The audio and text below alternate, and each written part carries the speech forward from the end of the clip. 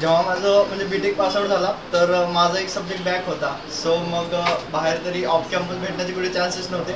मग मी असंच training institute किंवा कन्सल्टन्सी शोधत होतो.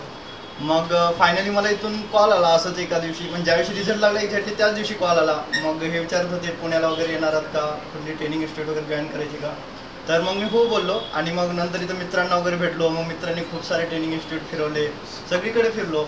पण यांनी जे म्हणजे कॉन्फिडन्स दिला की नाही तू प्लेस होशीलच. तसं दुसरं कोणी नाही देऊ शकले. मग त्याच्यामुळे मी इथंच जॉईन करून टाकलं. नाही म्हणलं इथंच करायचं काही झालं तरी. मग मी ते जॉईन केलं. मग थोड्या दिवसानंतर माझा रिचेकिंगचा रिझल्ट आला आणि माझा सब्जेक्ट निघून गेला.